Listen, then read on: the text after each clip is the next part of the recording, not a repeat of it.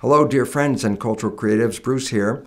Today's topic is on the nature of vaccinations and the role of our immune system in protecting us from environmental antigens and those kind of elements that try to undermine our lives. So, uh, this is a very significant uh, discussion because I want to introduce a topic that is not really understood by the conventional public, and that is this vaccinations and controlling the immune system to create antibodies against those germs or parasites that try to attack us.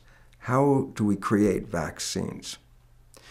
Our conventional understanding in the world is that we can create an immune response by taking foreign elements, bacteria, viruses, and parasites, or pieces of these elements, and putting them into a solution, injecting it under our skin, and then invoking the immune system to make a response against these invasive uh, foreign materials or antigens.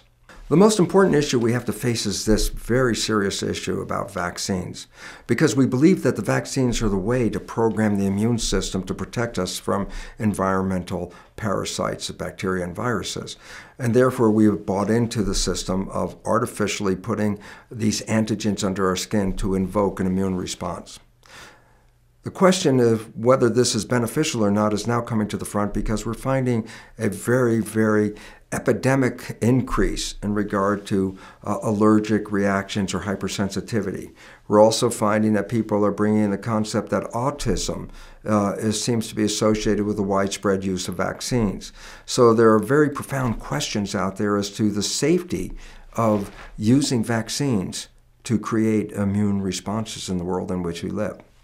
Well, I'd like to address this issue from uh, the point of view of immunology has made a misunderstanding about something very important called the tonsils. We have all heard of tonsils, and many of us have had our tonsils taken out. And I said, well, what are the tonsils? Well, if you look in a conventional book, a tonsil represents an immune mechanism that will protect us from invasive organisms. And the tonsils, there's actually three pairs or six tonsils making a ring around your throat. And the significance of the tonsils, uh, they are the devices that apparently are protecting us, and I use that with quotes, uh, from uh, foreign things such as viruses or bacteria that enter through our mouth, our nose, our eyes, or our ears, because all of these structures have conduits that connect to the throat. So if an invasive organism enters into our body through any of the holes in our head, these organisms must pass through the ring of the tonsils. It was believed and still believed by many that these tonsils represent the first line of defense to protect us against these invasive organisms. It's time to reconsider this concept completely for this reason. When we say that tonsils are there for our defense, then you would think, well, tonsils are there to protect us from, that, from anything that gets on the inside.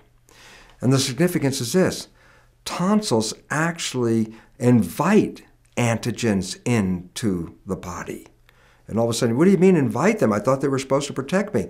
Well, all the tonsils have little tiny slivers of connection to the surface so that as we eat something or something goes down our throat, a small sample of what we just swallowed goes down these little crevices and enter into the tonsils.